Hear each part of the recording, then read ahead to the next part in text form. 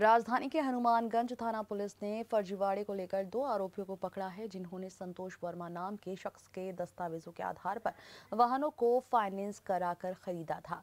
फरियादी युवक संतोष वर्मा की शिकायत के आधार पर पुलिस ने मोहम्मद खालिद और रियाजुद्दीन नामक दो आरोपियों को गिरफ़्तार कर लिया है, जबकि दो आरोपी अभी पुलिस की पकड़ से बाहर है। पकड़ाए गए आरोपियों के पास से पुलिस ने तीन वाहन बरामद किए हैं।